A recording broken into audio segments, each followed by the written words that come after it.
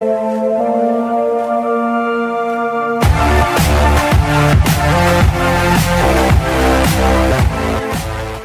இந்திய மருத்துவணியர் சங்கமும் தமிழ்நாடு மருத்துவணியர் சங்கமும் இருபத்தி எட்டு ஒன்பது ரெண்டாயிரத்தி பதினொன்று நாளைய தினம் ஒரு மாபெரும் கடையெடுப்பு போராட்டத்திலே ஈடுபட இருக்கின்றோம். கடையெடுப்பு போராட்டம் மட்டுமன்றி ஆர்ப்பாட்டமும் நாளைய தினம் நடத்திட நாங்கள் தீர்மானித்திருக்கின்றோம். இந்த போராட்டமானது மத்திய அரசு ஆன்லைன் மருந்து வணிக அனுமதியை அளிக்க உத்தேசித்துள்ளது. கடந்த இருபத்தி எட்டாம் தேதி அன்று அவர்கள் வரைவு சட்ட முன்வடிவினை வெளியிட்டு வெளியிட்டிருக்கின்றார்கள்.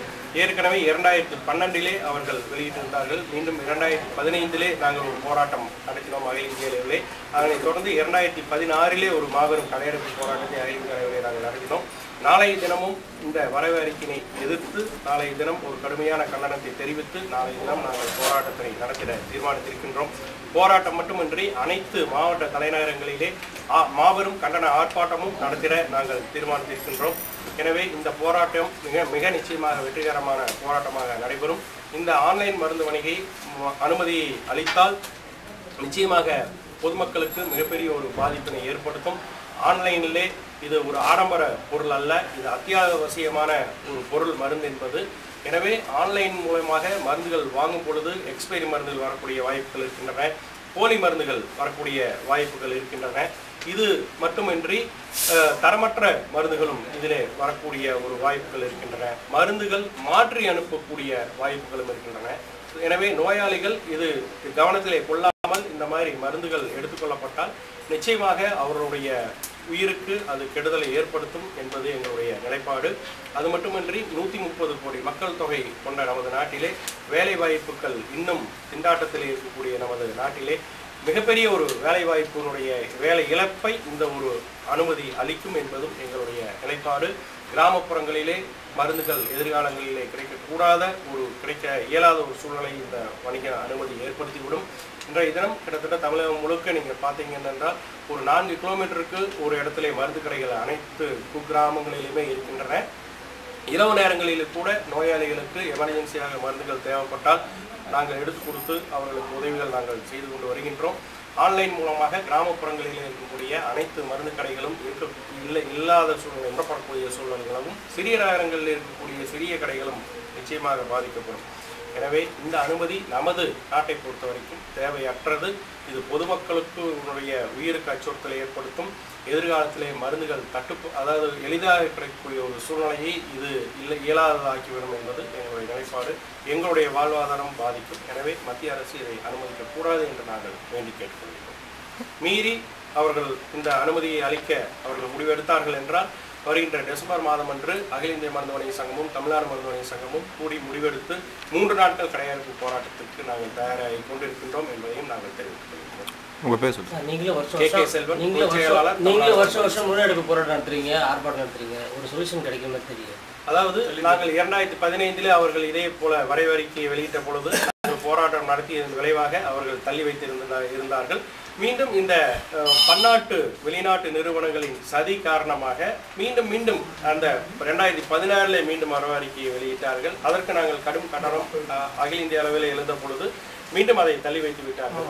தற்பொழுதும் பல வெளிநாட்டு முதலீட்டு நிறுவனங்கள் பெரிய முதலாளிகள் அவர்கள் இந்த தொழிலிலே முழுமையாக ஈடுபட வேண்டும் என்ற முடிவுகளை அவர்கள் எடுத்து மற்ற சிறிய போட்டியாளர்களை பூரா அவர்கள் ஒழித்து விட வேண்டும் என்ற அவர்களுடைய அந்த முடிவுக்கு எதிரானதாகத்தான் இந்த போராட்டம் அமைகின்றது.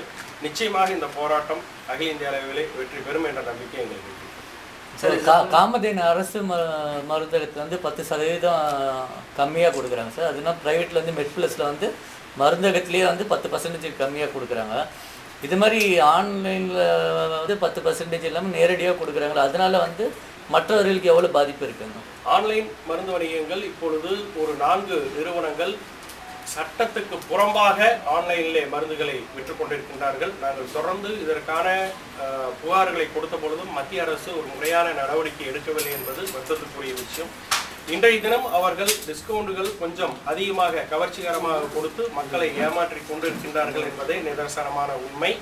எதிர்காலத்திலே அவர்கள் எம்ஆர்பியிலிருந்து சர்வீஸ் சார்ஜும் கூடுதலாக அவர்கள் மக்களிடமிருந்து நோயாளிகளிடமிருந்து வசூலிப்பார்கள் என்பதுதான் உண்மை. இதெல்லாம் உங்களுக்கு கொக்கோ கோலா அண்ட் பெப்சி அதோட உதாரணங்களை கடந்த கால உதாரணங்களை பார்த்தால் தெரியும். அவர்கள் முதல் முதலாக இந்தியாவிலே வந்த பொழுது விலை குறைவாகவும் குவாண்டிட்டி அளவுகள் அதிகமாகவும் வைத்து விற்றார்கள். போட்டியாளர்கள் அனைவரையும் ஒழித்து விட்ட பிறகு இன்றைய தினம் நீங்கள் எங்கேயுமே கொக்கோ கோலாவை எம்ஆர்பி ரேட்டுக்கு வாங்குவது என்பது இயலாத காரியம். அவர்கள் கூலிங்குக்கு அப்படின்னு ஒரு பாட்டிலுக்கு ஒரு ரூபாயோ அல்லது இரண்டு ரூபாயோ சேர்த்து வாங்கி கொண்டிருக்கின்றார்கள். நாமும் கொடுத்து அதை வாங்கி கொடுத்து கொண்டிருக்கின்றோம் என்பதுதான் உண்மை. இந்த நிலைப்பாடு நிச்சயமாக மருந்திலும் நாளைய தினம் வரும். இது இப்போ கொக்கோ கோலா குடிக்க குடிக்காம இருக்கிறதுனால நம்ம உயிருக்கு கேடு வரப்போவதில்லை. ஆனால் மருந்துகள் அருகாமையிலே எமர்ஜென்சிக்கு கிடைக்கவில்லை என்றால் ஒரு கடும் காய்ச்சல் இருக்கும் பொழுது ஒரே ஒரு பேரஸ்டமால் மாத்திரை போட்டால் ஏழு மணி நேரத்திற்கு அந்த காய்ச்சலை அந்த பேரஸ்டமால் கட்டுப்படுத்தும். அதுக்கு பிற்பாடு நம்ம உடனடியாக டாக்டரை சென்று சந்திக்கலாம். இந்த மாதிரி ஒரு வாய்ப்புகளை கூட வந்து இல்லாத ஒரு சூழ்நிலையை தான் இது நோக்கி கொண்டு செல்கின்றது. இது வன்மையாக கண்டிக்கத்தக்கதும் கூட.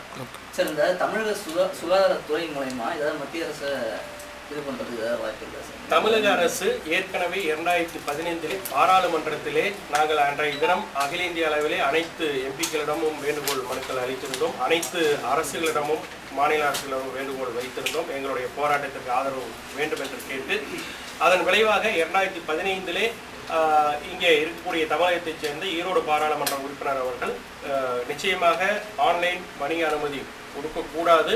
இது கொடுத்தால் தமிழக அரசு நிச்சயமாக எதிர்க்கும் என்ற ஒரு பதிவினை அவர்கள் பதிவு செய்திருக்கின்றார்கள். அது மட்டுமின்றி இப்பொழுதும் நாங்கள் அனைத்து எம்பிக்களிடமும் லெட்டர்கள் கொடுத்திருக்கின்றோம். ஒரு மூன்று எம்பிக்கள் வந்து எங்களுக்கு உடனடியாக இப்பொழுது அன்வர் ராஜா அவர்கள் எங்களுக்கு கடிதம் கொடுத்திருக்கின்றார்கள். இந்த ஆன்லைன் வணிக அனுமதி ஆபத்தானது. இதை நாங்கள் எதிர்ப்போம். நிச்சயமாக பாராளுமன்றத்தில் எடுத்து குரல் கொடுப்போம் என்ற கடிதம் எங்களுக்கு அளித்திருக்கிறார்கள் என்பதையும் நாங்கள் எதிர்க்கிறோம். இப்போ பேட்டன்ஸ் மெடிசனுக்கு மாற்றாக ஜெனட்டிக் மருந்து உபயோகப்படுத்தலாமா உங்கள் கருத்து மக்கள்? அதாவது டாக்டர்கள் நோயாளிகளுக்கு என்ன பரிந்துரை சீட்டுகளை வழங்குகிறார்களோ எந்த மருந்துகளை பரிந்துரைக்கின்றார்களோ அந்த மருந்துகளை வாங்கி சாப்பிட வேண்டும் என்றுதான் டாக்டர்கள் இதுவரை கூறிக்கொண்டிருக்கிறார்கள் நாங்களும் அதுபோல் தான் கொடுத்து கொண்டிருக்கின்றோம் தற்பொழுது மத்திய அரசாங்கம் மலிவு விலை மருந்து கடைகளை ஆங்காங்கே திறந்து அவர்கள் வந்து டாக்டர்கள் கொடுக்கும் மருந்துக்கு சப்ஸ்டியூட் செய்து விற்றுக்கொண்டிருக்கின்றார்கள். டாக்டர்கள் என்ன மருந்து எழுதுகிறார்களோ அதை கொடுக்க வேண்டும் அப்படிங்கிறது தான் வந்து இன்றைய தினம் வரை சட்டமாக இருக்கின்றது. மாற்றி கொடுக்கக்கூடாது ஆனால் அந்த சட்டத்தை மாற்றாமலேயே அதாவது டாக்டர்கள் கால்போல் என்று எழுதிவிட்டால் கால்போல் மருந்து தான் கொடுக்க வேண்டும். அது பேரஸ்டமால் என்ற ஜெனரிக் நேமிலே வேற மருந்துகளை நாம் கொடுக்கக்கூடாது என்பதுதான் தற்போதைய வரை நிலைமை. அப்படி தேவை என்றால் மத்திய அரசாங்கம் டாக்டர்களுக்கு உத்தரவிட வேண்டும். நீங்கள் ஜெனரிக் பெயரிலேயே தான் நீங்கள் மருந்துகள் பரிந்துரை செய்ய வேண்டும். பிராண்ட் நேமிலே மருந்துகள் பரிந்துரை செய்யக்கூடாது அப்படிங்கிறத அவர்கள் தான் வலியுறுத்த வேண்டும். அதை ஏன் வலியுறுத்த மாட்டார்கள்?